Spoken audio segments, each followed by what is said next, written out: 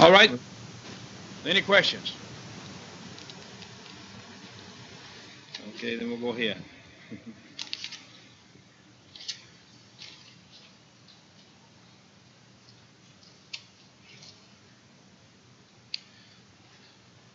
We're going to try, we've going to try to stay on those subjects that would be good for beginners and for our um, various levels of study. Some are ready for revelation and prophecy, and others are ready for the Beatitudes. Some are ready for the meat, strong meat, and others are ready, I trust, amen, some looking for the milk. So we try to mix it from time to time, but at the same time, we want the class to be interesting. And then, uh, of course, we want to meet the needs of special situations if questions come up. You don't know the difference between Sunday and the Sabbath day, well, you need to find out about that. You need to have an interest. There's a difference between the Sabbath and Sunday. the Sabbath deals with the rest. Sunday's the first day of the week. There's no Christian Sabbath except in the Spirit, as the other things of the Old Testament were brought over to the New Testament in the Spirit. So when we talk about Sabbath on Sunday, well, we let us know we're misinformed because Sunday is not the Christian Sabbath, but sanctification is a Christian Sabbath. All right? Jesus said, Come unto me, all you that labor and heavy laden, and I'll give you rest. He don't mean He's going to give you a day off, like the seventh day Adventist. And he said, Out of thy belly shall flow rivers of living water. Jesus said, and when he said something about the water, he was speaking of the Holy Spirit that have not yet been given. So our rest is in the Spirit. As long as we're laboring in our spirit, then we're not getting that spiritual rest that the Bible speaks of. All right. So, who changed the Sabbath from Saturday to Sunday? You can't change it no how. If God don't change it, you can change it in your mind, but it's still not change. All right. We can change our rules on marriage and divorce, but if God don't change it, it will not change. That's right. We can change our rules on how to get to heaven, but if God don't change them, you're not going if you change yours. All right, Sister Joan, what were you going to say?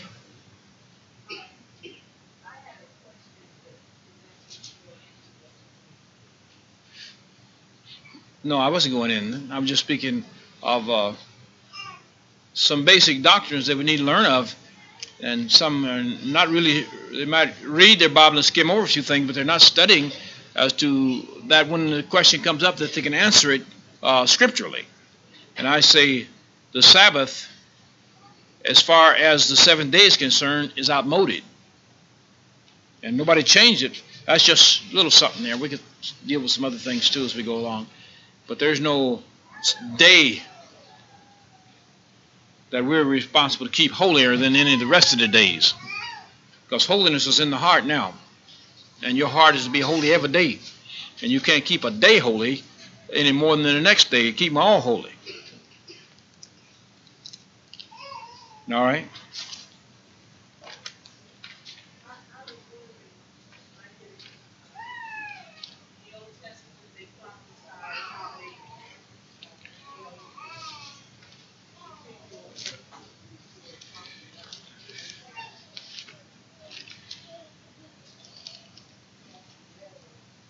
In, in Old Testament, they were talking about what? I didn't get that.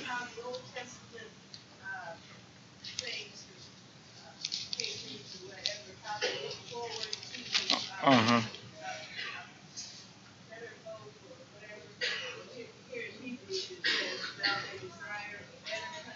Uh huh.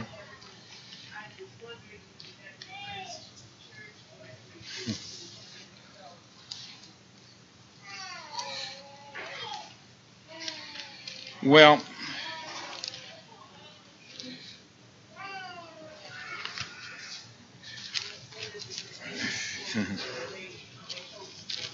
they haven't. They are evidently looking for glory. Bible said they all died in the faith. Um, there are, however, just a touch step between that. The heavenly country, we're living in it now. And they got a glimpse of it, but they didn't understand it. They didn't see it. That's why I'm saying they probably looked past that. Um, as David said, I shall dwell in the house of the Lord forever. But not realizing that there was a heavenly country before we go to heaven. And that is the, uh, the, the place where the Lord had lifted us up and made us sit together in heavenly places. We have the heavenly place, but they didn't catch that. They didn't realize what they were looking at, just like John were looking uh, in the prophecy of Revelation toward the latter days. He didn't know what he was looking at. See, me? the angel, the minister, showed him what he was looking at. Uh, when he saw the beast, the, uh, the harlot woman, he didn't know what that was.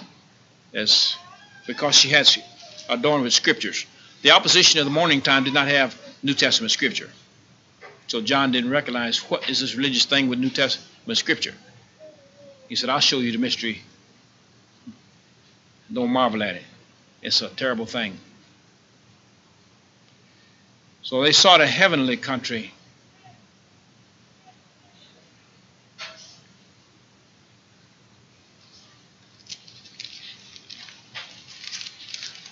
Scripture said, "But they that without us, they without us should not obtain it. They they couldn't get it.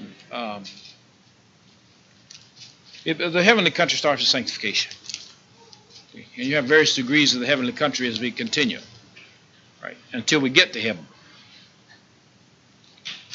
But they didn't understand the doctrines. Um, they wondered. They said they desired to look into some of these things and were not able. They desired to look into them. Uh, it? Peter? Um, all right. Go ahead and read it. What does it say? Unto whom it was revealed that not unto themselves, but unto us, they did minister the things which are now recorded unto you by them that have preached the gospel unto you, the Holy Ghost sent down from heaven, mm. which things the angels desire to look unto.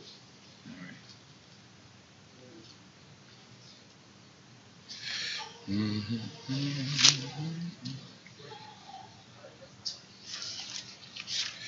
Receiving the end of your faith, even the salvation of your souls. Of which salvation the prophets have inquired and searched diligently prophesied of the grace that should come unto you. Mm-hmm. All right, so they only saw dimly what we were involved in, and they didn't need to understand it. All they needed to do was preach it. They preached it, but the prophets that was given to them, and as they spoke those words, they were curious about what they were saying. and it was revealed that this is not for you, but for us. So there were some things they skipped over. And I think they were looking for the heavenly country uh, that David spoke of. Yea, though I walk through the valley of the shadow of death, I feel no evil, for thou art with me. Uh, he said, and I, he finished off saying, and I shall dwell in the house of the Lord forever. The fact that they probably didn't see it was the fact that the way they responded to it when it was preached. When the New Testament truths were preached, they rejected them. So they probably didn't get a real good, clear picture any more than we have a good, clear picture of heaven. We don't have a clear picture of heaven. Do we? I mean, I have no idea where I'm going to live. All I know is he said, in my father's house are many mansions. I have no idea what they look like.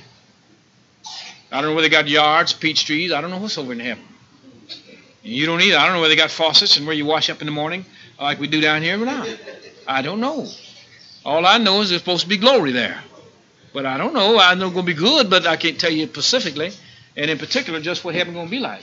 And they saw concerning the New Testament church and the glory of it and the, and the bondage that was being removed from it, but they really couldn't speak altogether clearly on what the New Testament was. That's why the Jews missed it. See, because they were too sure themselves that it was going to be a natural kingdom. And I don't know what we're going to have in glory. I don't know. Flesh and blood can't inherit the kingdom of heaven, but we're going to have bodies over there. But what kind? Glorious bodies. But what's that? Spiritual body. What is a spiritual body? It's a body fabricated for heaven, but I don't know just what it's like. See? I don't know what it's like. Some days I feel pretty good down here. I guess I'll feel better than that over there. But I don't know. But it won't be a corruptible body like we have. But we, we can only see through a dark glass, a glass darkly, as the scriptures say. 1 Corinthians 13, he say we through, see through a glass darkly, but then face to face. And so that's what it was. It wasn't revealed to them, so they didn't know it. Christ came. Why could they? Uh, heaven was searched and earth was searched, and they couldn't find anybody to open up the plan. So they, uh, the angels desired to look down into it, and the prophets wanted to look into it while they were talking about it. And there were Jews who were uh, doctors of the law and never did see it. Nicodemus was a case in point. He didn't see it. And God was showing it right to him. He said, I'm going to show you. You can't show you natural thing. How are you going to see the spiritual? So the church was not really revealed to those people. Uh, as it, and it is revealed. Uh, some folk don't see it now and, and claim to be in it. If they can't see the kingdom, well, they can't say they see the church either. he said the kingdom is within you, and that's a mystery to many people. So, uh, just about this particular uh, church age, I don't think they, they, they, indication are they didn't see it clearly, but they did know something about heaven. They didn't know much about hell, they, but hell was preached and heaven was preached in the Old Testament. New Testament church was alluded to, but they didn't really catch what it meant. They wanted to go on. Some of them still want to be Jews because they didn't catch it. So we thank God. And I'm just trusting what heaven's going to look like to, to the Lord. I'm just leaving that to Him. I'm not going to worry about how, uh, what it's going to look like. We're going to have purple curtains or pink ones. Whether you get your own color scheme in your mansion. Hmm? Whether you get down and put on rugs or linoleum. I'm not, I don't know about that. Yeah, we'll see it when we get there. They say the streets are gold I found the gold streets in, in the church of God. It's a precious heavenly way to walk in. A highway shall be there in a way. it shall be called a highway of holiness. How are they going to understand when he's talking about the wolf laying down with the sheep and, and, and, and things like that? And the symbolic language. How are they supposed to understand it? They know what a wolf is, and they know what a sheep is. But when you speak of that concerning the New Testament church, how are they supposed to understand? As people today don't understand what a sheep laying down with a wolf is concerned, that's the wonderful power of salvation. I mean, to take an old mean man like Paul and sit him in with Barnabas, who was a good man. And he was a wolf that destroyed the flock, and he said he was. But for you know, God had pacified him, quieted him down. He was most docile. And he was able to work with the saints, and he regretted having ever persecuted the church of God. He found out it was more precious than he thought. He didn't see it. When God got a hold of him, he saw it. he could see the kingdom when God got a hold of him. He fought it until then, and people are still doing it. All right. So that's what I would I would say that they were looking toward the end of in, in death. They didn't receive it. These all died in faith, not having received the promise. Is God's promise true? You sure? Is it? Well, will they receive the promise? Well, what will it be? It has to be heaven because heaven and earth pass away. It'll have to be in glory. All right, so Lord help us. Thank God to strive for that. It takes a vision. You lose your vision and your hope of heaven, then you haven't got to press on for it. The enemy could pull you away easy. Amen. When all you just is going along because I might get in trouble if I don't. You have to have a, a vision and you have to have a hope. If you don't have a vision or a hope, then you can let go anytime. You won't even worry about it. Those that backslid, they lost their vision first. They lost their hope of heaven first. I'm just thank God I'm still wanting to go to heaven. I don't catch myself up on no bed growing cold and eyes uh, dimming and uh, vision uh, is drifting away and I find myself I ain't got no heaven to look forward to. And I know I'm going to die. I never done it before. I'm going to, I'm, to do it. I believe I'm going to do it. You believe it? Y'all go, you believe you're going to die? You never seen it? You never felt it? You don't even know what it's like. Never happened before, but you say, I believe I'm going to do it. That's faith, huh? Or that's a good common sense. Anybody still living it was there. All right. Sabbath day. Well, now, that's not our subject. Could be, but it isn't too. And the father Zacharias was filled with the Holy Ghost, and he prophesied, saying, Blessed be the Lord God of Israel, who hath visited and redeemed his people and hath raised up a horn of salvation for us in the house of his servant David. Who's that horn of salvation? And he spake by the mouth of his holy prophets, which have been since the world began, that we should be saved from our enemies and from the hand of all that hate us, to perform the mercy promised unto our fathers, and to remember his holy covenant, the oath which he sware unto our father Abraham, that he would grant unto us that we, being delivered out of the hand of our enemies, might serve him without fear, in holiness and righteousness before him all the days of our life. Which day? Sabbath? Uh-huh. That we, being delivered out of the hand of our enemies, might serve him without fear in holiness and righteousness before him all the days of our life. Which is the holy day? If you expect the old heaven, don't you be caught on no day that's not holy. See, so we don't worry about the Sabbath because Christ already fixed that. He raised up that horn of power. And that's what the horn is, power. A power that we might live holy all the days of our life. That's right. So we uh, there's no uh, Sabbath as far as the natural day is concerned. But then in the spiritual, there is all the days of our life are holy. How can you keep the day holy? Or how can you fail to keep it holy if you're holy? Sunday I'll keep it holy. On Monday I'll lay out my neighbor and throw a rock over in his yard. Hmm? Dump his trash over. And, but I better I'll get back to it by Saturday.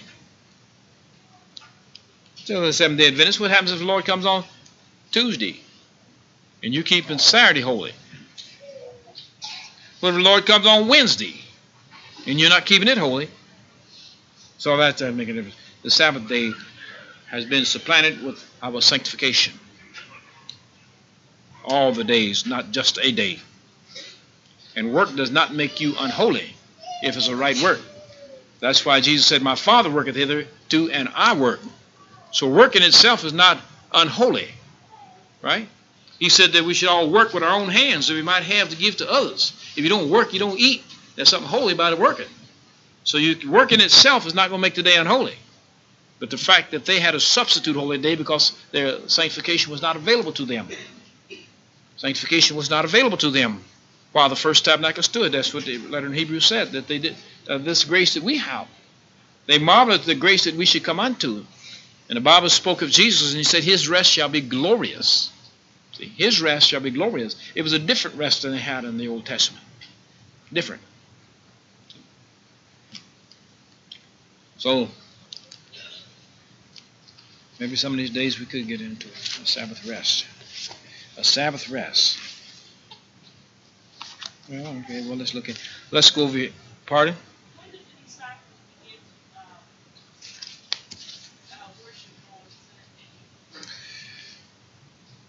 the after the resurrection.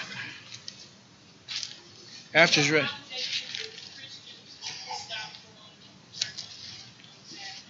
Oh, they didn't. They didn't stop. Well, they went. Well, they had the uh, temple. They went to the temple worship. The Bible said, and they were in the temple. Let's go to Acts.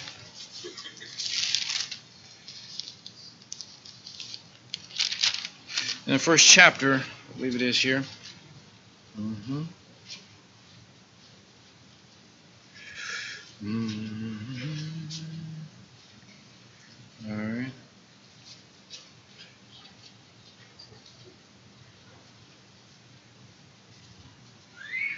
Somewhere in there.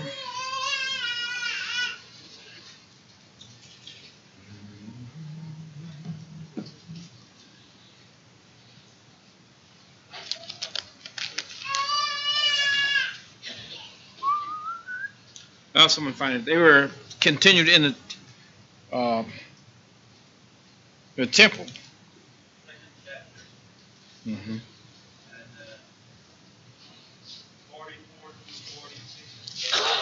All right. Thank you.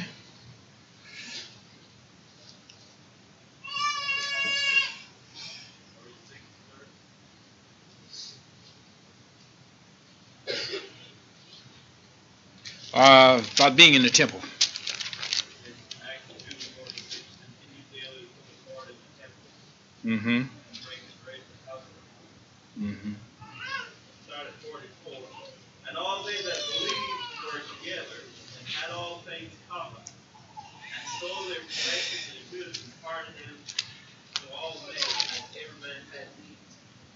The the with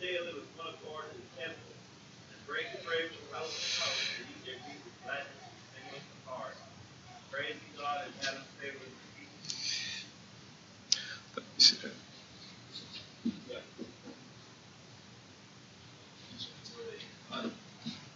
This particular subject, but that's all right.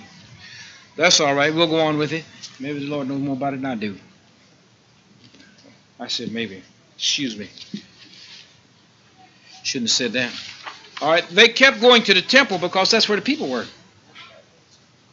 But then on the first day of the week, they had services of their own.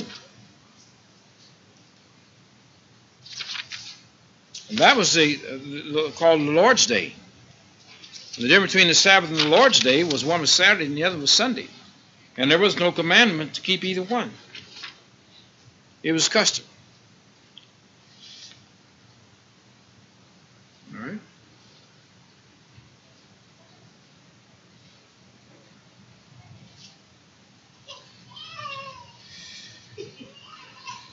All right. It's 18 and 4. That's what this thing says.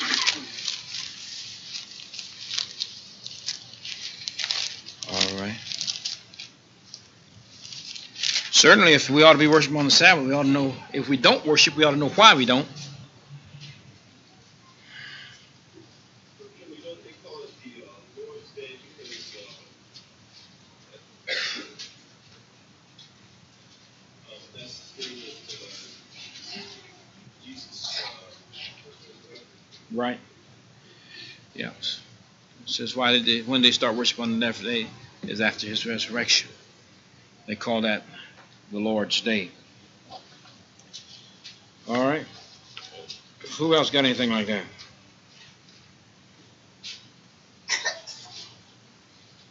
The Sabbath and Saturday was uh, just about synonymous. It was not. Saturn was a name that was taken after the sun god later on. The reason I asked the question I did is because, um, don't they teach that, that Pope changed Uh, Constantine generally gets credit for doing that. He was a converted pope, a converted Catholic.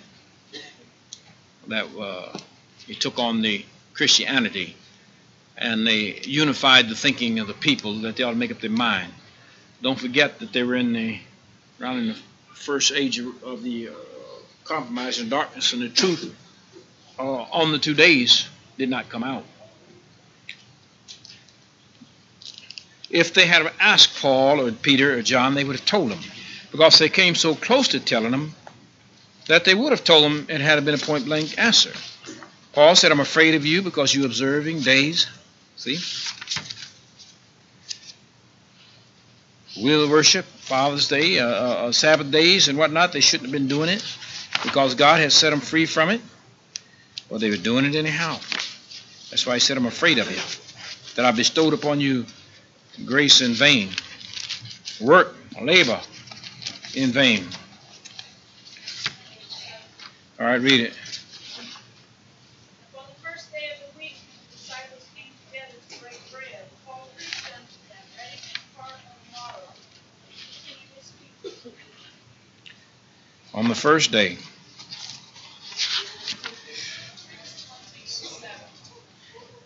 All right, say, well, when did that come in pro- into um, prominence? The fact that they did not were not always allowed to preach in the Sabbath. There come a time when the persecution set in. See, they were, matter of fact, run them on out of Jerusalem at one time. So they started out and they were received in the Sabbath, uh, in the uh, temple. But after a while, they couldn't. So they met together themselves, and that was on the first day of the week. So the Sabbath, was, uh, having services in the tab- in the temple, ceased when they run them out. When they run them out, and then of course they had to lean more upon the uh, the Lord's day. You take away the Sabbath, then what else could they do? Now don't forget they were sent to the to Israel. They were sent to the lost, uh, the house, the lost sheep of the house of Israel. Jesus said that's where he was sent, wasn't he? And they were too. He said, Go to Jerusalem, to Judea, to Samaria, and then to the uttermost parts of the earth. But Jerusalem was first. And that's where the Jews were. And so naturally they'd meet where the Jews met. Jesus done the same thing, and they'd uh, because he kept the Sabbath. And the apostles done it for different reason. Because they had an audience there. And that's why they went to the Sabbath. And they went there as often as they could. John and Peter was the one on the way down to the Sabbath uh, to the tabernacle at the hour of prayer, temple at the hour of prayer. That's where the people were. One place they stand up to speak, they say, You all got something to say, say on. It wasn't at, at Jerusalem, but nevertheless they went where the people were, and that's where you go if you want to preach the gospel to people. That's why they went to the, uh, down there.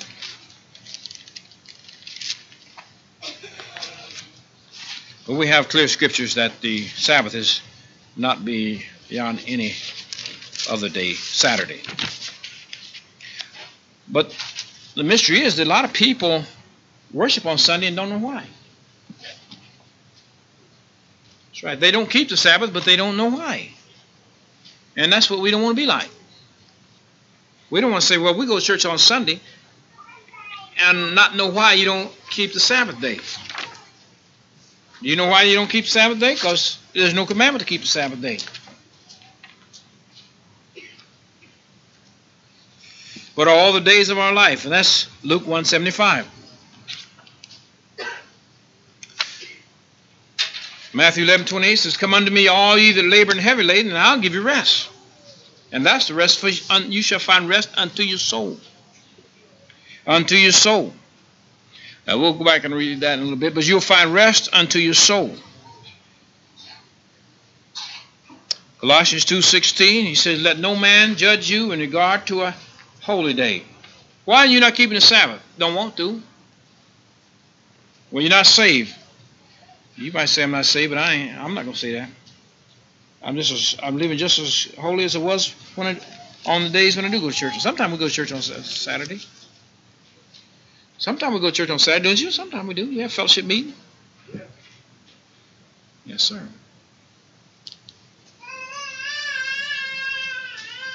Let's read this in Colossians just a moment this morning in the second chapter, Colossians. And you being dead in your sin and in uncircumcision of your flesh hath he quickened together with him, and hath forgiven all your trespassings. You're writing to the Colossians. Blotting out the handwriting of ordinances. And the Sabbath was an ordinance. That was against us, what was contrary to us. Why was it against us? Why was it contrary to us? Because they had to enforce it. You don't have to enforce anything that people want to do. There was a law to, to, to, uh, to, to kill them one man uh, get, was made an example out of him because he was out picking up sticks on the Sabbath.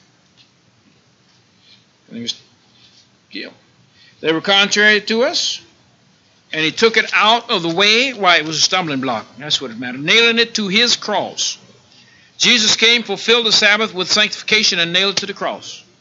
Having spoiled principalities and powers, all these Jews that hold it so high and holy and uh, laying down judgment and making people put their beds down, and after Jesus telling them pick them up and walk, he said he spoiled the principalities and powers. The high priest, the chief priests, the temple god, lords, and all those uh, false prophets and Sadducees, Pharisees, he spoiled them principalities and made a show of them openly. When to make a show of them openly, why you heal a man on the Sabbath day? Why don't you come at six days and we come uh, on, on the, why you won't come on the Sabbath? He just show, showed them. Latest daughter of Abraham, been bound nailed these many years, and you take your ox out and loose him on the Sabbath? Shall not she be loosed on the Sabbath? And they were put to shame. He made a show of them openly, triumphing over them in it. He proved to them that he was Lord of the Sabbath while he lived. Let no man therefore judge you or condemn you in meat or in drink. Whatever meat you want, eat it. In drink, drink it. Apostle Paul could never have said that justifiably under Moses' law. He never would have ever opened his mouth to say that. Peter either. Because Peter almost had gotten a little discussion there uh, with the Lord while he's on the housetop about eating meat and drink. Or in respect of a holy door, a holy day, or a new moon, or the Sabbath days. And don't forget that that's a supplied word there, so it could have just said Sabbath, period. But it says Sabbath days, which means includes all the Sabbaths, which were uh, yearly, uh, yearly Sabbaths. Your Jubilee came in on this Sabbath, of, uh, the day after this last Sabbath, seven years. All right, sister, was it? Jubilee was 50, uh, 70 years, seven years. How long? Wait a minute, 50 years. 50 years. That was one week at the end of the seventh year. One week. Seven weeks plus the next day, the 50th. All right. Uh, Sister Leah, what were you going to say?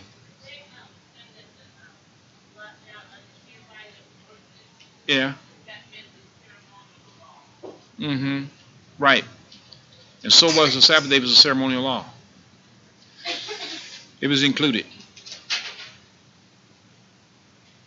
It was a ceremonial law because it had nothing to do with spirituality. The seventh, the seventh day did not make anybody holy. See? Putting the bread on the tables did not make anybody holy. Putting the tabernacle up didn't make anyone holy. So it was a ceremonial law. They went through a act or a show. It was for us. It was a, the Sabbath was a ceremonial law. I mean, it was not a law of righteousness that was continued. It was fulfilled. See, there were no need to continue in the Sabbath day when God gave us a Christian uh, Sabbath. There was no need to hold on to the old. Oh, that was it, yeah, it was ceremonial law. Does the brethren agree on that? You agree? For what?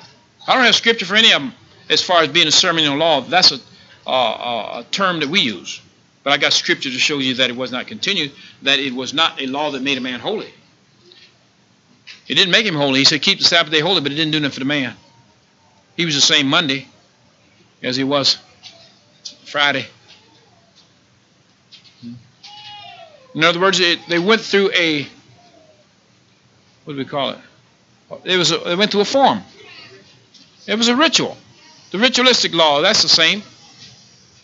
Ritualistic law. We can show by example that it didn't have anything. Now, there was a law that said, Thou shalt not commit adultery. That dealt with morality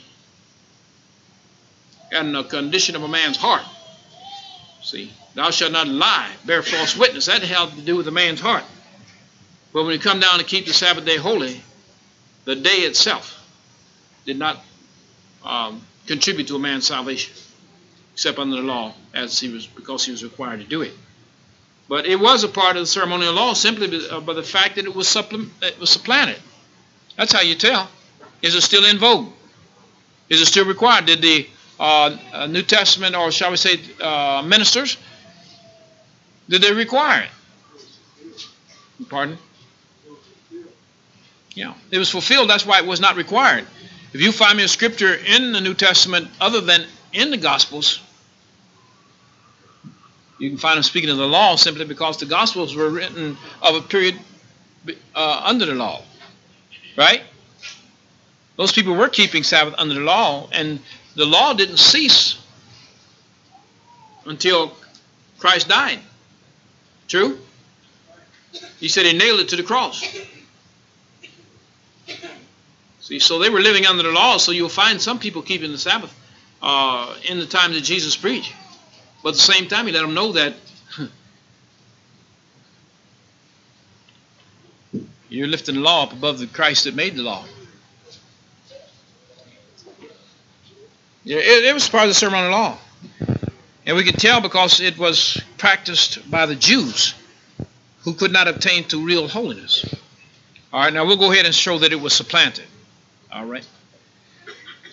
In a little bit, we'll that. See, we can read many of these scriptures in here, but until we show that where, what took its place, then people try to hang on to it.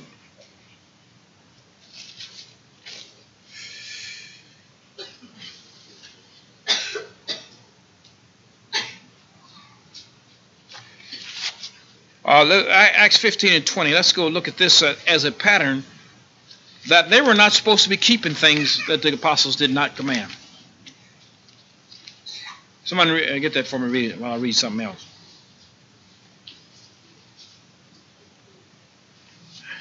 Fifteen twenty. That we write unto them that they abstain from pollutions of idols and from fornication and from things strangled and from blood All right, keep reading. For Moses of old time hath in every city them that preach him, being read in the synagogues every Sabbath day. Go ahead.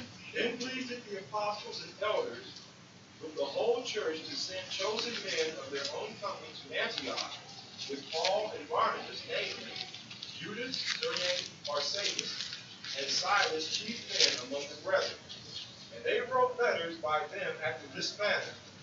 The apostles and elders and brethren sent greeting unto the brethren which are of the Gentiles in Antioch, Syria, and Cilicia, for as much as we have heard that certain which went out from us have troubled you with words, subverting your souls, saying, Ye must be circumcised and keep the law, to whom we gave no such commandment. It seemed good unto us, being assembled with one accord, to send chosen men unto you, with our beloved Barnabas and Paul, men that have hazarded their lives for the name of our Lord Jesus Christ. We have sent therefore Judas Silas, who shall also tell you the same things by mouth. For it seemed good to the Holy Ghost and to us to lay upon you no greater burden than these necessary things, that ye abstain from meats offered to idols, and from blood, and from things strangled, and from fornication, from which if ye keep yourselves, ye shall do well. Now, what about pollution of the Sabbath? Sabbath? He's talking to the Gentiles. He never did give them the Sabbath law. No, he never gave them the Sabbath law. They never received it.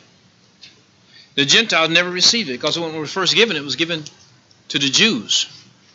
It was not even given to the what we would call Gentile before uh, during Abraham's day. They did not receive it until they got out into the wilderness. That's when the law came. Adam and Eve wasn't even given the Sabbath law.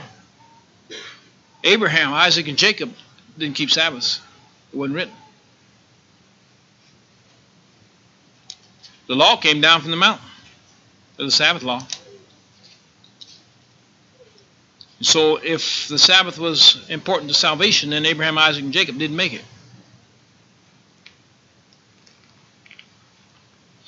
Because it was not commanded that they do that. They said they got it out in the mountain. Is that what he said? Oh, that's an act somewhere. Um, someone find it where he said we received it, where they received the law. Uh, just not that we don't know where he received it, but that we don't know where they received it, the Sabbath law. Excuse me, brother. the spot where it says where they received the Sabbath. Yeah. It was in, in, in no uh, in the New Testament. Yeah, no, New Testament makes reference to it.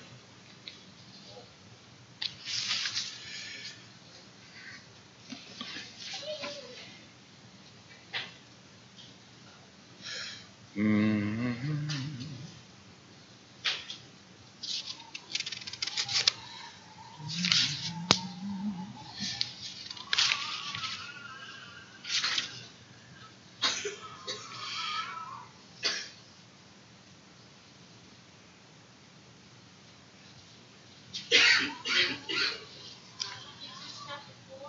What did it say? Did it say when? Where?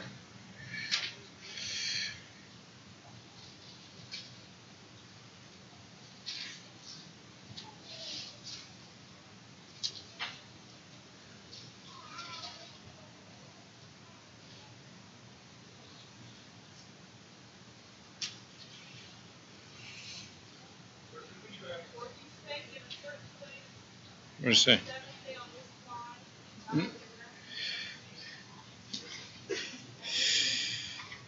Oh no. You ask me when I ask. Where in particular did they? He's, they say that they where they received the Sabbath, the first heard the Sabbath preaching. The, the requirement of the Sabbath. It's in there. Let's see, somewhere I'm not gonna- Since I didn't come particular on this subject, but we're going with the subject anyway. In uh, 14th chapter of Act of Romans, excuse me. Said, He that is weak in the faith receive ye, but not to doubtful disputations. One believeth he may eat all things, another who is weak eateth herbs. Let not him that eateth despise him that eateth not, and let not him that eateth not judge him that eateth, for God hath received him. You mean here's a man feel like he eat everything and God receive him? Huh? You mean to tell me he's eating pork and God receive him? Catfish? No, they couldn't eat catfish under the law. They didn't have no fins, right? Didn't have no scales. And that they wouldn't eat that. It was a scavenger. Didn't have any scavenger. Uh, scavenger. Like a old uh, certain uh, fish, uh, goldfish. What is a goldfish? Carp. Carp. He's a scavenger too. They weren't supposed to eat uh, scavengers, far as we know. But anyhow, a carp is a scavenger. But I know they weren't supposed to eat it if it didn't have any scales. I don't know what would disqualify a carp, eh, but uh, whether they had them in, over in that area. Let him not eat that eateth not let not him that eateth despise him that eateth not, and let not him which eateth not judge him that eateth, for God hath received him. Which let us know that the principle that uh, Paul is preaching had given, been given to Peter in a spectacular way up on the roof. And Paul was saying the same thing, and we don't read where Paul received that vision upon the roof, where they could eat all manner of animals and creeping things that was in that sheep. See, so revealed to Paul, to Peter, Peter needed it in a spectacular way. He needed it evidently. because he had been having some problem with them Gentiles. But God took away the law of what you can't eat. One believeth he may eat all things. That's your faith? Go ahead. Another who's weak. Now, if you just eat herb, you're weak. And if you would like to have some bacon, but you're afraid to eat it because you're weak too. Not physically such, but in the faith. You don't understand the doctrine. If you feel like that you're hindered from eating certain things because what the Bible say about certain foods of the Old Testament, he said you're weak. So when you want to eat a pot of greens, you don't have to ask, is this with beef or pork? Oh, you're free. It's not what enter a man condemn a man. It's what I say. It's a spiritual situation. That's why Paul said nothing in itself is unclean. It's not the cigarette that's sinful. It's the man that smoke it. See? And lie's bad enough, but the one that told it is worse that.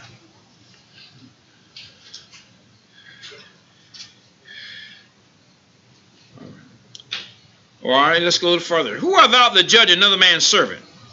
To his own master he stand or fall. Yea, he shall be holding up, for God is able to make him stand. One man esteemeth one day above another.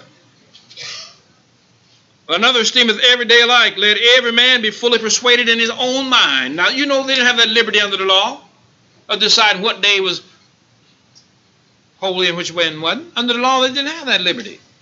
One man esteem a day above the other, the other esteem every day alike. So what? Well, this is Easter. So what? Well, this is Saturday. So what? Pay attention Saturday. One man esteemeth one day above another, other esteem every day alike. Let every man be foolish persuaded in his own mind. This is the liberty that came with Christ. Grace and truth. Either regard the day, regard it to the Lord. This is going to be my fast day. This is going to be my uh, devotion day. This is the day I'm going to shut in. We're going to pray. Well, this on Wednesday. Why don't you wait till Saturday? Wednesday's the day for me. If he regards the day unto the Lord, if he doesn't regard the day to the Lord, he does not regard it. In other words, God's approval is up on him. That eateth, eat it to the Lord, for he giveth God thanks. He, well, you eat porcupine if you want it. That's right. Tell me out west they eat. They have rattlesnake roundup, and in the evening they gather around the fire and eat rattlesnakes. Just give thanks. If he did not to the Lord, he did not, for he give God thanks. I mean, that's plain enough. I don't see why people want to argue about that. I mean, this is too plain to try to say, well, that was ceremonial law. Ceremonial law? You don't talk that way in front of Jews. No, not if they when they were, when they were bound to have their food kosher. You didn't talk to them like that. They had to make sure that it was kosher. So you don't you don't have all this looseness uh, where the law was invoked. So I know the law has been lifted the law of what food you can eat and what food you can't eat. You realize that the Gentiles eat, had this liberty all along? The Bible said the Gentiles have not the law. Yes.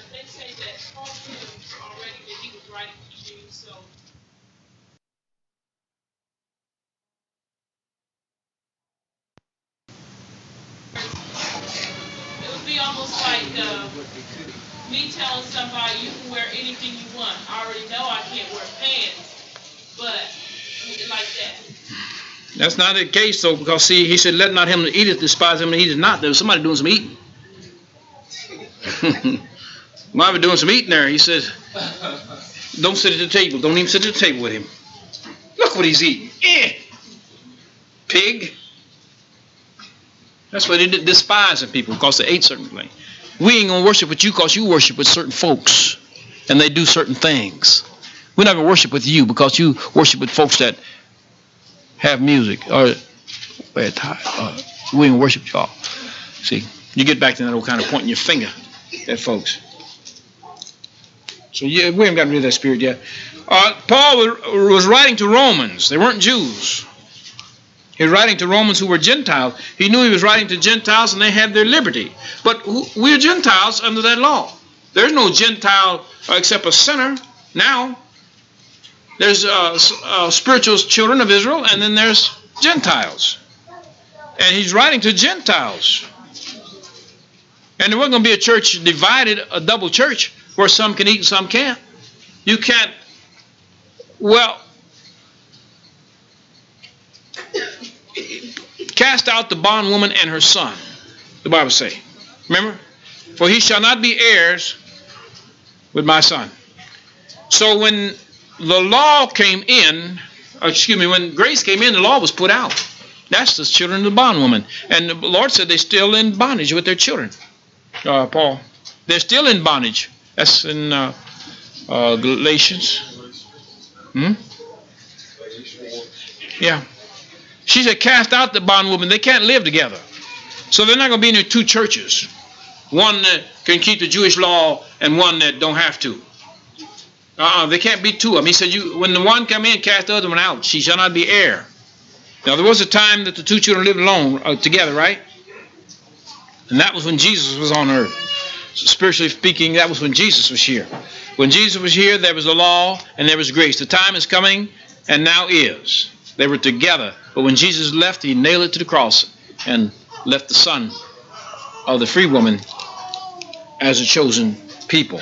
When he said it is finished, the law was gone, and truth and grace was in vogue. Okay. Yeah. Galatians 4 and uh, 9, 10. All right. We'll go ahead and read it. But now, after that ye have known God, or rather are known of God, how turn ye again to the weak and beggarly elements, whereunto ye desire to be in bondage? Mhm, That's the days that's the law. and months, Mhm. times and years. I am afraid of you, lest I have bestowed upon you labor in vain. Right. Paul was reproving them for doing what people today are thinking they do in God's service. He already come up and gave them freedom from all those laws and bondage and stuff like that, and they come along and still trying to do it. That's right. Ham, hock, and beans. Well, what's the matter with that? Sound pretty good. Well, that's Gentile food. In the flesh, I am a Gentile. Most of us in here are in the flesh Gentiles, right? In the flesh. So let us eat in the flesh Gentile food.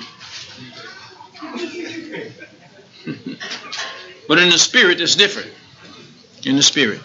And there's no God don't know us after the flesh anymore. He don't know us after the flesh anymore. Uh-uh. But after the spirit. See, we can't be saved. Paul said the is related to I mean John. Baptist said the related to the root of the trees, and then you're gonna leave them root in the branch. As far as the flesh is concerned, there's not root in the branch branch. Natural children of Abraham are not the saved children. But there's a spiritual Israel the Bible speaks of. And we need to read and run across these scriptures while we're reading. So when you try to teach the complete doctrine and all of its foundation, well, it, it just seems to not really go across to people. It's hard for them to catch it. That's why we tell you, read your Bible. Read it so you can, when we come across it in the lesson, we don't have to read all of it. I realize right now I'm looking at some blank faces that I'm not reaching some folks. Because I got to try to quote all the scriptures to back up what we're talking about. And you can't do that. That's make a hard message for you to try to quote all the scriptures. See how we jumping way around? I didn't even get to where we ought to be jumping to. But if we read the Galatians and read our scriptures and study our Bible, then then we can get a better hold on it as we go because we have a foundation. Line upon line, precept upon precept. We're not going to be like people, and a lot of them do it. Show you a verse in the scripture and close the book up and say that's true. Now, you make the Bible conflict doing that. It's, you got to get what the Bible says about that subject to make sure you have truth. I'm afraid for you. I have bestowed upon you labor in vain. If you all go out of here and start observing service, uh, uh, Sabbath days, I've bestowed upon you labor in vain, and you'll be back in bondage again. He said, Do you desire to be in bondage? How you watch your clock? And have to hurry. Man, you have a wreck trying to get back in the house by 6 o'clock. That's bondage. From six from sundown, I say from sundown Friday to sundown Saturday, you're supposed to be still. Don't do much. No labor, don't kindle a fire, don't do nothing like that. No kind of. Now that's bondage, you know it is. You say you desire to be in bondage? Is that what Paul said? Galatians 4? Yeah. Who have bewitched you? Oh, foolish Galatians. He said you're foolish. Well, who called my name? Go ahead. Mm-hmm. how that during the Maccabean time, that they were being wiped out of the nation because of the keeping the Sabbath. Mm. Well, I think they on war days they're allowed to fight. All they had to do was uh, figure out where the Sabbath was and then win the battle. So I think while them folks was rested. All right.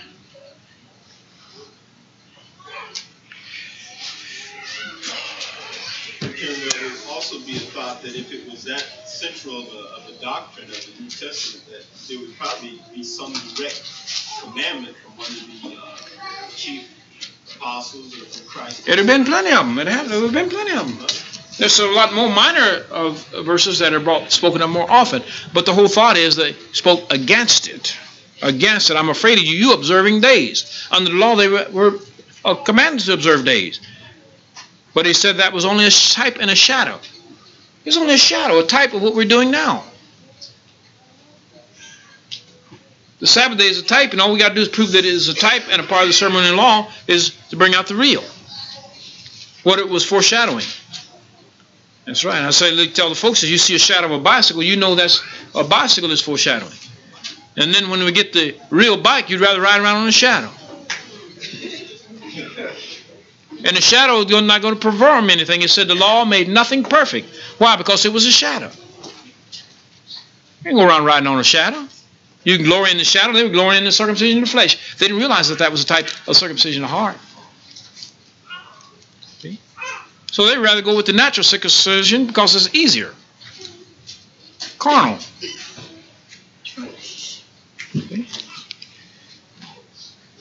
They kept glorying in the tabernacle because they couldn't see the church. And the tabernacle was only a shadow. Okay. You all right? Questions asked about ceremonial law. I think one thing illustrates that uh, Sabbath keeping is just ceremonial is that it couldn't even be kept uh, in all geographical locations at the same time. And even in our day, today, sun up to sundown, some places it's longer than, than 24 hours. Yeah, well, that's true. From about six to six, I think they try to figure it. Um,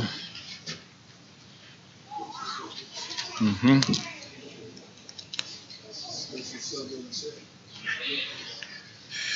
Well, they would take the day they recognized as a Sabbath and keep that, but we don't know what uh, whether our sequence of days are just right or not.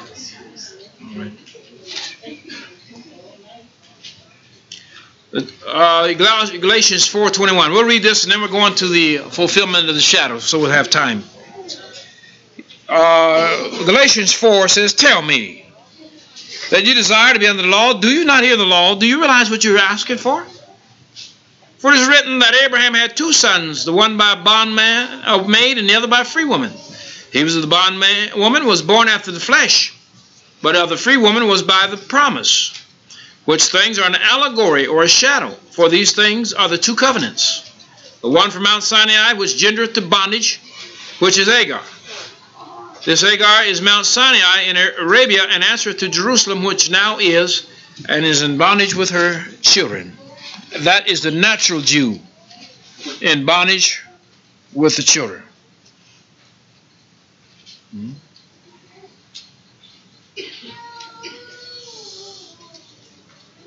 Is that what you want? You want to go back to that? Observing foods and observing days and all that? That what you want? That what you think is freedom? You think that's uh, that's glorious? Listen, I uh, listen. I have forgotten my own birthday. Now, you know I forget some of them holy days. There's so many of them. Now, now, now I got to be stoned to death because I don't know how I changed it. You ever forget your birthday? Didn't nobody remind you, you forget it sometimes. But you hate to see them coming.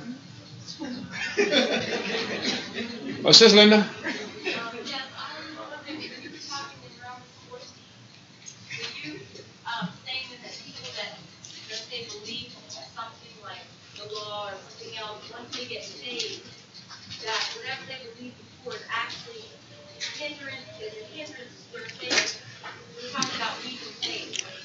Weaken the doctrine is actually what it means. Weaken the doctrine. Weaken the doctrine. No, they, they're not. He said, let's go on to strong meat. You know, and they start giving the doctrines. Weak, you have to drink milk. Hebrew, if you're strong, you can meat. So he's talking about weakening the doctrine. When Paul said, I have fought a good fight, I have kept the faith, he means he have kept the commandments of God, the obedience. You know, he hadn't uh, gotten off into some heresy. And yes, if you try to hold on to that which was keeping you from being unsaved after you get saved, well, that's sure it's going to be a hindrance to you. For instance, if you believe in tongues and God show you and save you out of that mess, and you keep trying to speak in tongues, you got a problem.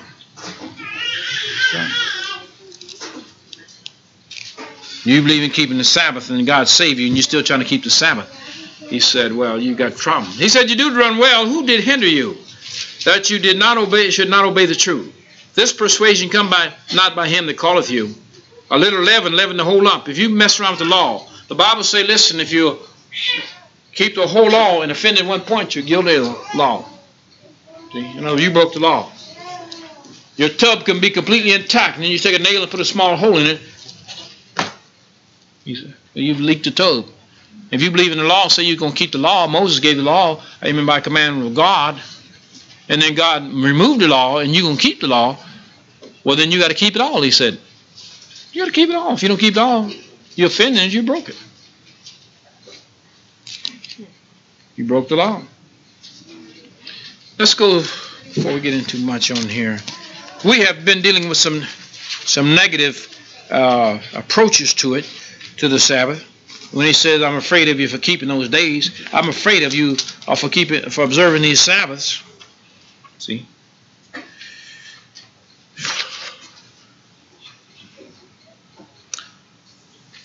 First day of the week.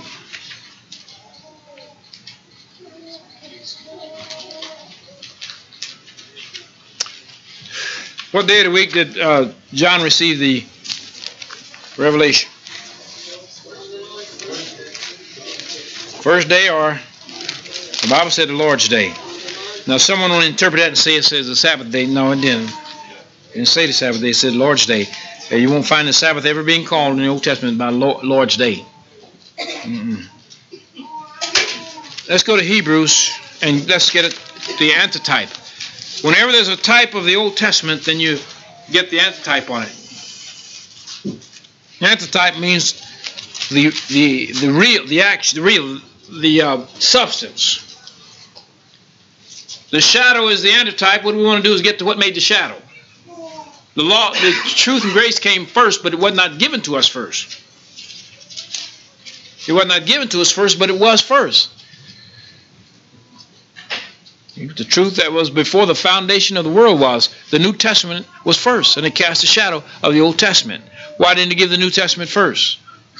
a man was carnal and he couldn't have nothing to receive it with. He didn't have nothing to receive it. He couldn't understand it.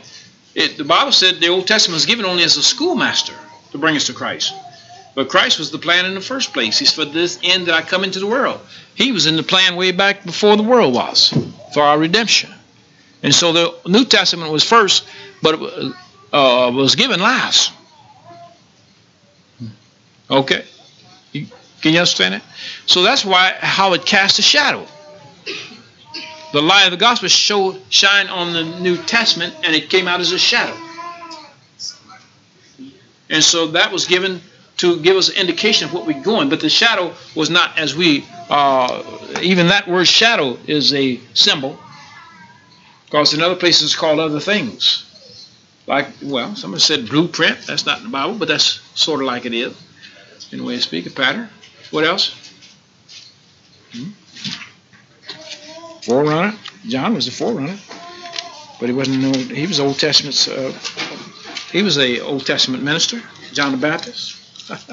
and you want to speak technically, but really he preached grace and truth, but he was born under the law, same as Jesus. All right, we're going here to the uh, third chapter of Hebrews, and let's get the essence of what threw the shadow.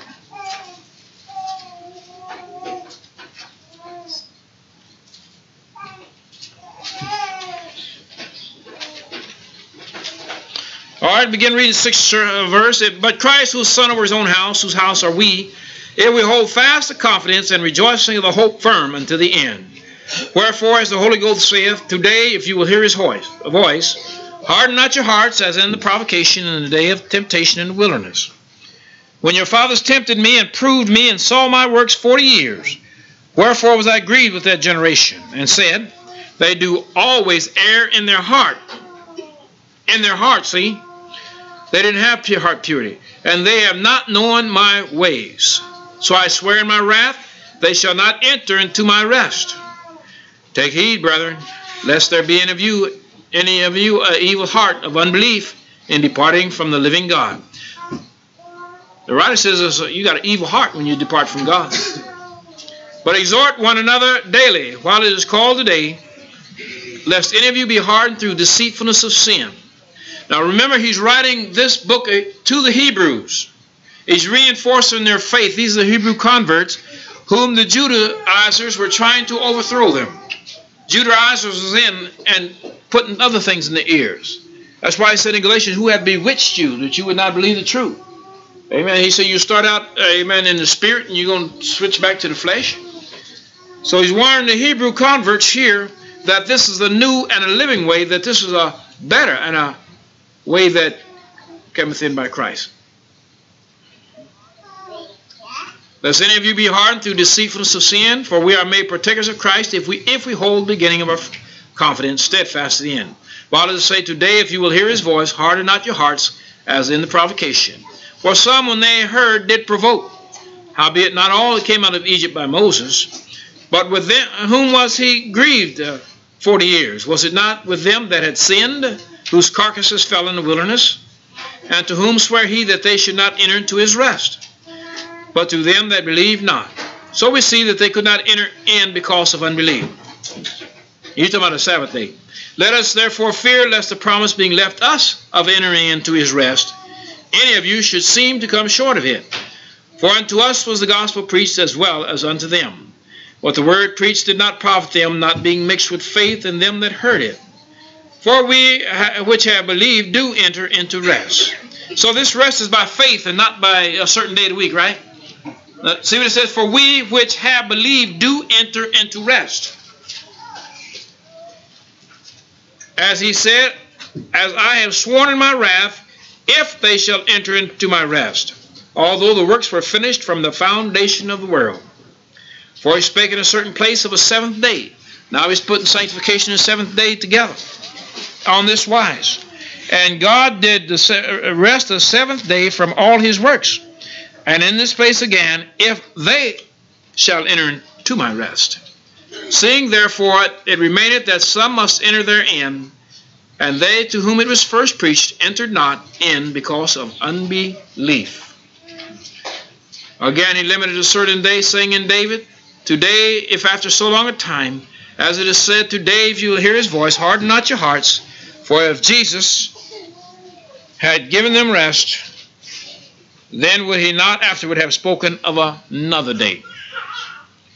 So the rest he was speaking of was a day of a temporal rest for the natural man.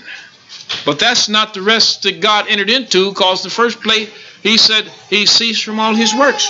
And he's speaking of the works that are the temporal, the natural, the works of creation, which was for us. You hear his voice, harden not your heart. They didn't enter into the rest. Anybody that doesn't enter in by faith is not entered in. Now, I don't mean what day of the week you try. If it's not by faith, you can't get in, and don't take no faith. So you can go to a place where folks are gathered together and everybody go to bed, but you have not sanctified. You haven't entered into His rest. His rest. Christ's rest. The Creator's rest. That's the rest he was talking about. You haven't entered in that. Uh-uh. If, well, listen, bums and crooks, they rest on Saturday.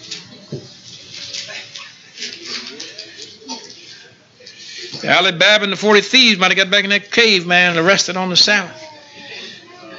Anybody could rest on the Sabbath. That don't make you holy. Hmm? Does it?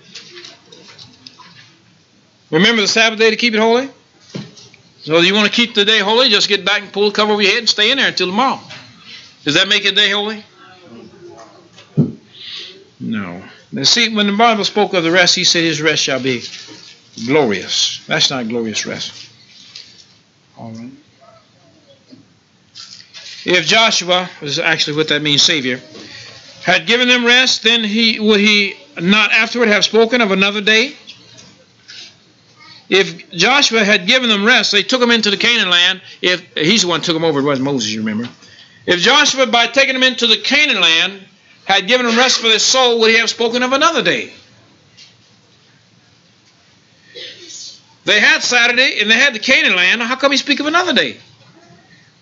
There remaineth therefore a rest to the people of God. For he that has entered into his rest, he also has ceased from his own works, as God did from his. Let us labor therefore to enter into that rest, lest any man fall after the same example of unbelief. Does that sound like something that happens on Friday evening? Let us labor therefore to enter into that rest, lest any man fall after the same example of unbelief. Does that sound like Sabbath rest that he's talking about here? Does it? Listen, Friday evening, man, the guy come on hitting that chair, he ain't got time getting to in bed. He's already snoring laying up there. Whew, especially if he worked hard. You don't take no labor into rest.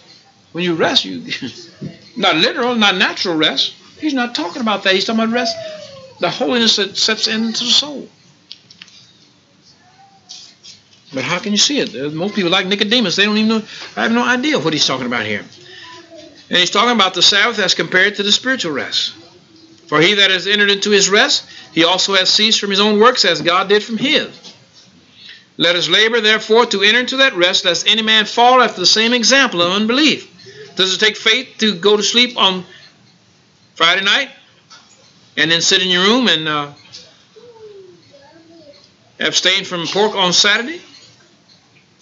There's a difference between these two rests, don't you see it? I mean, can you see what the rest that God is talking about for the soul? In other words, a sanctified soul that is rested from his own labors. So you have to watch doing your own labors. You let people know you're not sanctified. When it's me, me, me, me. When you're weeping and crying over what you can't have and how people mistreated you, you don't, you're not resting, you're worrying. Your rest is disturbed while what somebody said about you or what somebody done to you, and you can't even rest. See? Jesus was resting right at his trial. And he said he asked certain not a word.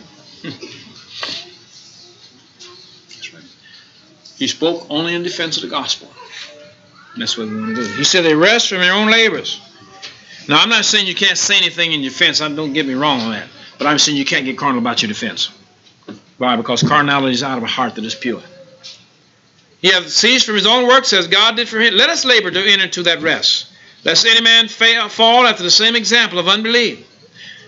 For God, the word of God is quick and powerful and sharper than any two-edged sword, piercing even to the dividing asunder of soul and spirit, and the joints and the marrow, and the discerner of thoughts and intents of the heart.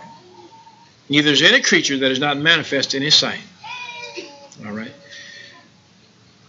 For we which have believed, the third verse said, do enter into rest. We which believe. There was only two of them that even come near and believing, entered into the natural rest. Joshua and Caleb. They believed. And they went on over into the Canaan land and for the milk and the honey and the grapes. But however, when we sing about come on over into the Canaan land, honey and grapes and wine and stuff like that, we're speaking of spiritual food. Don't you remember the Stephen preach? Uh, what was he? Fill our hearts with food and gladness. Do you think he's talking about? You fill our hearts with natural food?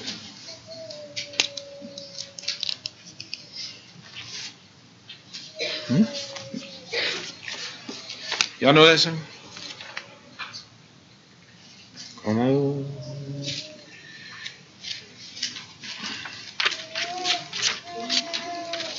who's got something to say? I also noticed when the uh, rich young ruler came to Christ and asked what uh, he had to do to inherit eternal life, and he said, "Keep the commandments." And he began to Jesus began to name which one. He never said the Sabbath, but then after he named them, he said, "And if thou wilt be perfect, um, sell that thou hast." To me, that was the spirit. That's when he was, you know, talking about the spiritual Sabbath. A consecration. It takes a consecration to be to enter into that rest. You can't rest when you're worried about your stuff. You're worried about yourself. Old number one is occupying your time. You can't hardly rest. You got to go run down rumors and go see who it was that said what about me. See what I mean? Make sure you get in line so I can get mine. Yeah. Twelve years. And they had a little boy, he was the worst boy in the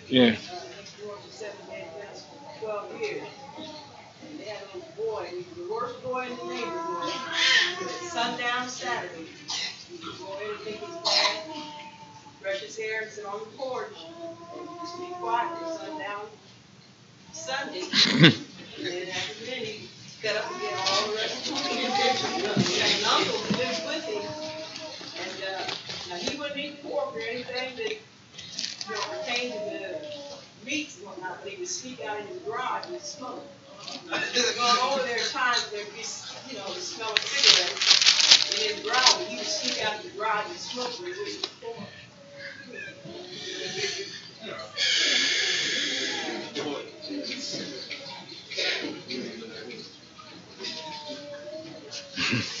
Well, that's what this. See, that's what's funny about it. Under the law, you didn't have to be saved, sanctified to keep the law. All you had to do is make a mind do it. You did not. You went to heaven under the law if you kept, if you didn't get caught. I'll put it. I'll put it this way. You were born circumcised the eighth day. That made you a member of the church of the Old Testament. That made you a member. There was nothing else required of you except that you don't slip up and fall. But as far as heart purity, they didn't have it. They didn't have it. Acts 14 and 17. Yeah, somebody get that. We had neighbors around that lived about a mile away, and they were farmers and dairy farmers. On Saturday, they put that milk out there in the can, and they pick up milk from town Saturday morning, Saturday evening, just as well. Yeah, well, they're allowed to do that under the law. You're allowed to do works of mercy. In case you don't know it, then you don't milk a cow on time, and that cow's messed up. That's why I don't get no long vacations. You can't just decide to milk that cow. It's supposed to be milked on Saturday morning. You can't decide to milk them on Sunday evening. You can't do that. Because the milk pressure builds up and it won't come out unless you milk them. So you can ruin the cow that way. They have to be milked on time. And they're allowed to, uh, to take the horse out for uh, the cow out for water, and they're allowed to milk the cows for the cow's sake. Right. You can't skip it. it runs at a certain rate, and it'll keep on coming. Originally, you know, that milk was made for a calf, and the calf is steady. or he'd be fasting sometimes. All right, what does it say, Acts 14, 17? He's talking about stuffing, putting food in the heart. Now read it. So I'm saying there's, when he's speaking of the land of milk and honey, but he's speaking spiritually. Don't you realize the man that said that was not thinking about folks stuffing natural food in his heart? What did it say? Nevertheless, he left not himself without witness, and that he did good, and gave us rain from heaven, and fruitful seasons, filling our hearts with food and gladness. Mm-hmm. All right. A seventh place, if they shall enter into my rest. Seeing therefore it remaineth that some must enter therein, and they to whom it was first preached entered not in because of unbelief.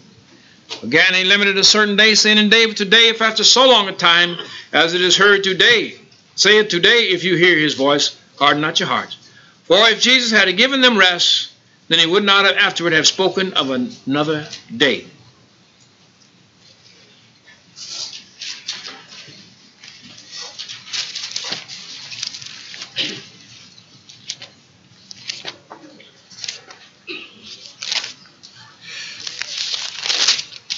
This takes some reading, but I think maybe you could get you some books out of the library and uh, read along with this and kind of get. Uh, now, this is deep, as Paul said. Uh, uh, Peter spoke of Paul. Sometime, if this is Paul, I don't know what he is, but anyhow, he speaks some things hard to be understood. This is not so hard to understand that the that the Sabbath rest is not what God had in mind. That's not so hard.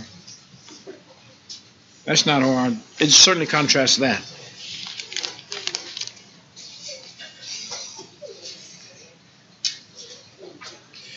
All right, uh, Hebrews, uh, excuse me, Isaiah 11 and 10. Um, and I want you to look at it. Now, on this one, I want you to look at it yourself because you're going to have to face this. You come, bring your Bible. You come Bible study with no Bible, no pencil, no paper. If you need glasses, don't even have them. Can't see. What does it say?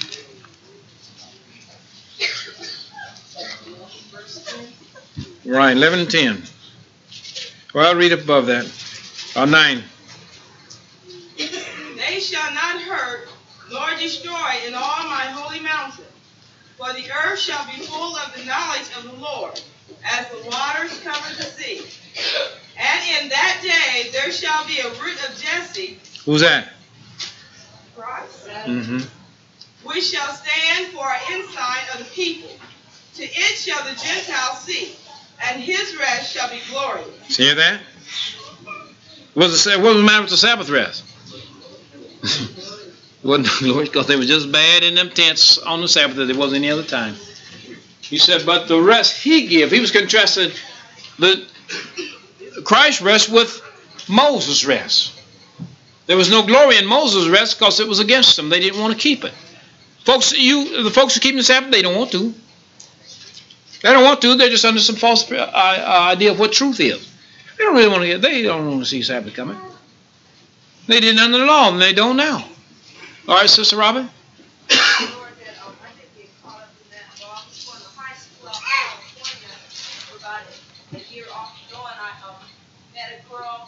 They had they went to church on Saturdays, and I would go to church with them all the time. But almost four years, but they never came out and said they were seven day Adventists. Yeah. And I noticed every, when I was spending night with her, sometimes I would notice uh, Friday, Friday evening, right, would start, or whenever we start, they would fix their dinner and Mhm. everything, get the house straightened up. But I never, but there was nothing in their life that made that attractive to me. You know,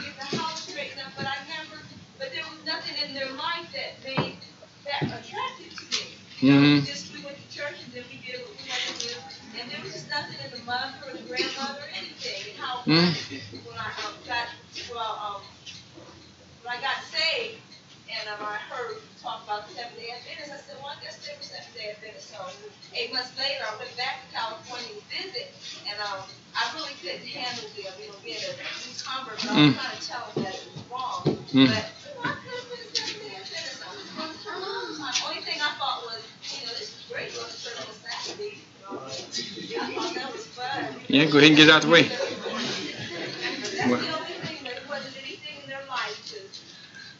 Me of my sin or anything. Mhm. Just the ritual they went through. leaning on the Sabbath, and other lean on circumcision, and other lean on this type of doctrine.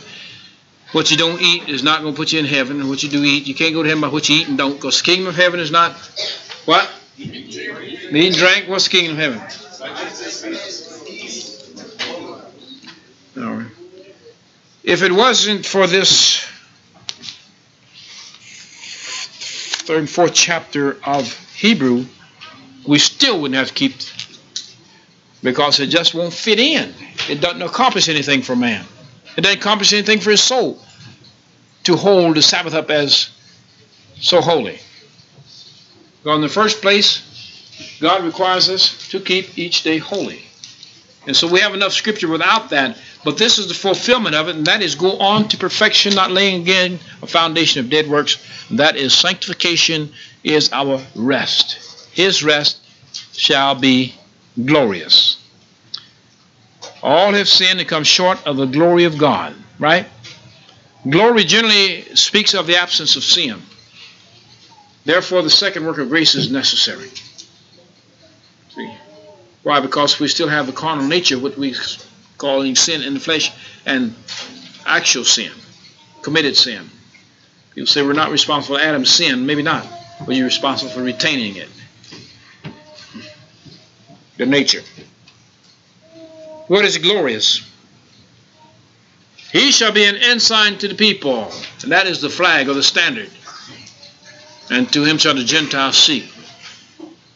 When I got saved, I was seeking for the ensign. I didn't know anything about this scripture, but I knew I didn't want to be saved like other folks were saved that I knew because they were sinning. My buddies sinning, and they was accepted in Sunday school. That's right, and they were no different from me, and I was. They were sinning more worse than me in many cases because I had a dab at a long switch and I had to restrain myself, but I was the same in my heart. I mean, I wasn't saved, and they weren't either. But all they had to do was join, and I didn't join. I never belonged to another church. I come to Church of God. Never signed up for no other. Why? Because as uh, some of the Sunday school teachers and other are careful to bring the little children to church, you learn stuff that way. That helped me. Those people take me to Church of God. They take me to Church of God to the mission down on Main Street. They take me. Sometimes I go to Innisfallen and sometime on Liberty Street. I'd get in there. Sometime in the homes, holy women in the neighborhood. They gather all the children in and they tell us some things. And they don't maybe don't even know what happened, but that that affected me. That affected me. I knew some things that you couldn't do. I wasn't as ignorant as some of them children that didn't go. I sit there and I'd be tired sitting in church. My feet be just swinging and I'd be restless. Sometimes they give us a sucker or something, you know, kind of placate our boredom. But I went because they asked me. Sometimes it seemed like they preached so long. But I learned something. I learned something. And I, I thank God for those good days. And only that, they preached on the street corner. The old ladies come out there. I think Grandma Burton might have been one of them. I don't know who all they were, but they preached on the street corner. And I heard the gospel preached, and they didn't laugh either. They was laying it down, judgment to the line. You know that song that Sister Green sings? Oh, my record. They preach it sober, shall be there. And I want to stay safe. But the Sabbath day don't do not didn't do anything for them people. Yeah? It didn't do anything for them, but make them restless. But he spoke of another Sabbath, and wherein the rest would be glorious. Sabbath in the soul. Since the message of, as someone have already mentioned, of keeping the Sabbath was not preached, it was not made a requirement upon us, then we have many of them that omitted and eliminated the Sabbath in their preaching. And then we have the fulfillment of it is a rest for the soul and not for the body. Rest in the body just rest you up to do some more sinning. Rest for the soul, you cease from sin. For the law having a shadow of good things to come, and not the very image of those things, can never with those sacrifices which they offered, even the Sabbath, year by year continually, make the comers thereunto perfect. For then when they have ceased to be offered, because that the worshippers once purged should have had no more conscience of sin. But in those sacrifices there's a remembrance again made of sin every year. So, were there any questions or any additions? About, yes, I didn't realize that they that, uh, that the Sabbath or the commandments were kept in heaven. Mm. And they said that if they weren't kept in heaven, then they would have known when to cast the devil out when he did sin. That's, that's how the, the commandments were kept. the cap, the commandments are kept in heaven?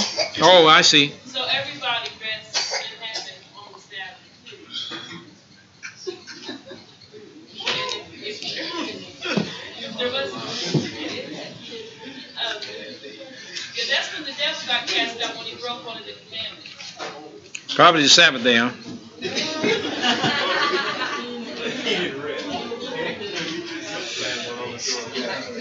That's when I had no other gods before me. He was putting himself before God. Let no man judge you in respect of a holy day. One man esteem every day alike. One man esteem a day above another. Whether you esteem it or don't esteem it, he said, let no man judge you in a holy day. Where was that written? Didn't we just read that? All right. That was Romans 14. Romans 14, so you don't worry about the day. All right. And uh, Galatians said that the law was cast out, the bondwoman and her son. Then we have uh, Colossians. He say he took those things out of our way. They were stumbling blocks to our faith.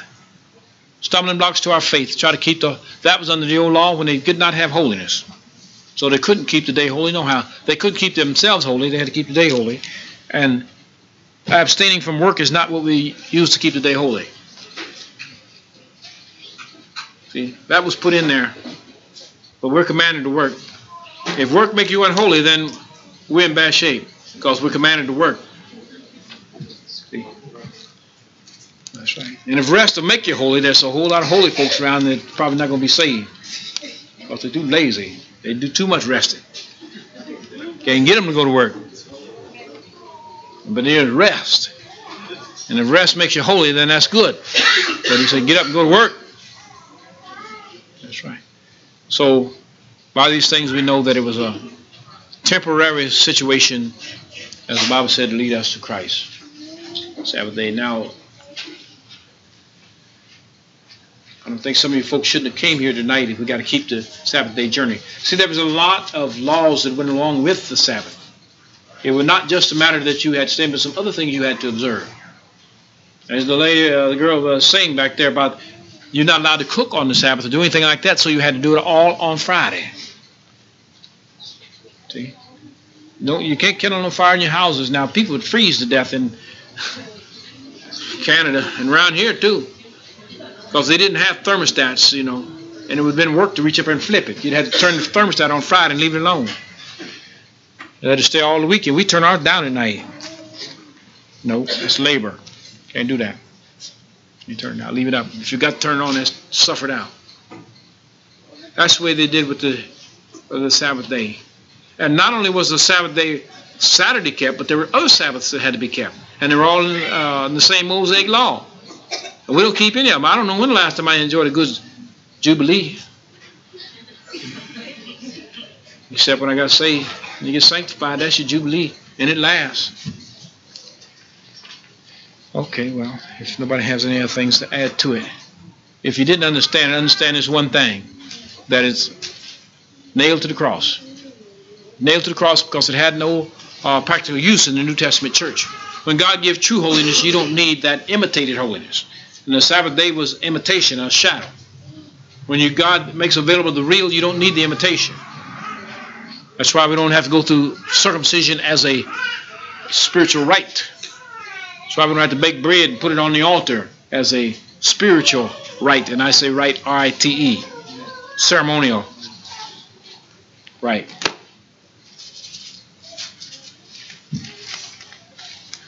All right. The Sabbath. Is fulfilled in Christ. Pentecost, the Sabbath came to those who were in the upper room. The Pentecost came and brought the Sabbath. When the day of Pentecost fully come, That was the end of the Sabbath for them. Oh, yeah, they still went to church. You can I go to church too on Saturday too, when we have church. All right, Brother Roger? Pentecost and these Mm-hmm. Fiftieth what? Yeah. yeah.